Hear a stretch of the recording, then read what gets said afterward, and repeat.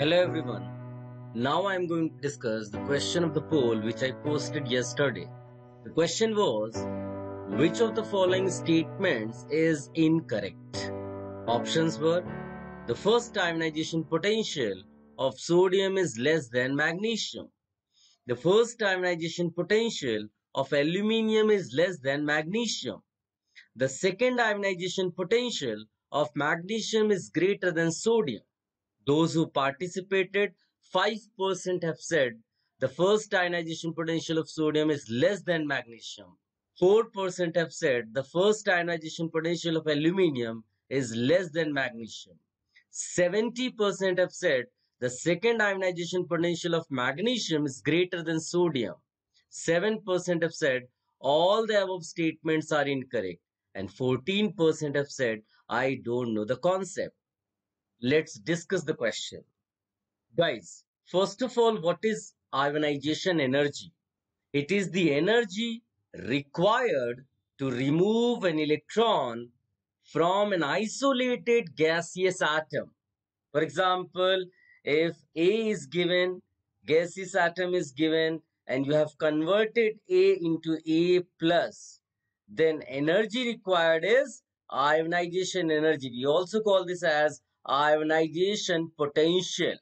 Now when A plus is converted into A plus plus, then the energy required is called second ionization energy. This was first ionization energy or simply we say ionization energy and here it is second ionization energy. In the same manner, when A2 plus is converted into A3 plus, the energy required is called third ionization energy. I1, I2, I3, these are successive ionization energies.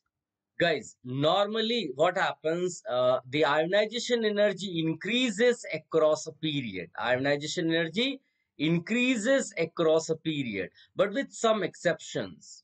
The first ionization energy of sodium is about 496 kilojoule per mole. And that of uh, magnesium it is 737.6 kilojoule per mole. If you write the electronic configuration of sodium it is 1s2 2s2 2p6 3s1 while electronic configuration of magnesium is 1s2 2s2 2p6 3s2 now you can see here it is fully filled.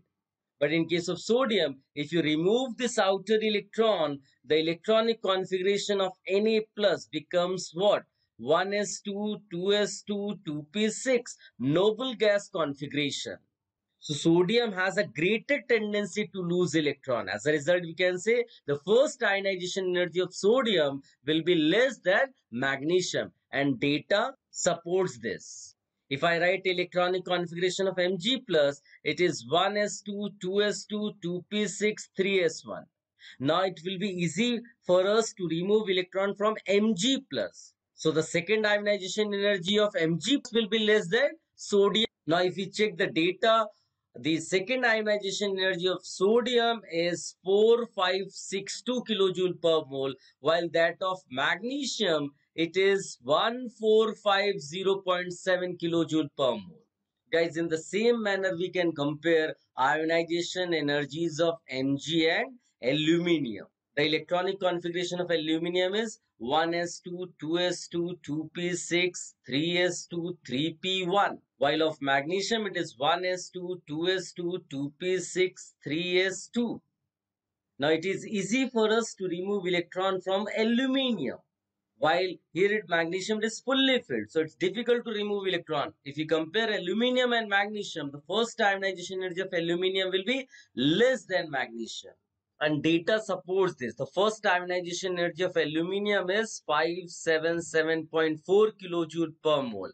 While that of magnesium it is 737.6 kilojoule per mole. Now the second ionization energy of aluminium will be greater than magnesium and this will again change. The third ionization energy of magnesium will be greater than aluminium because third electron of aluminium will be 3s1 while that of magnesium will be P6. It's tough to remove electron from there. So third ionization of energy of magnesium will be greater than aluminium. Guys, congratulations to those who have got the correct answer. If you have any doubts, you can write in comment section. Wait for the next poll. Till then, bye-bye.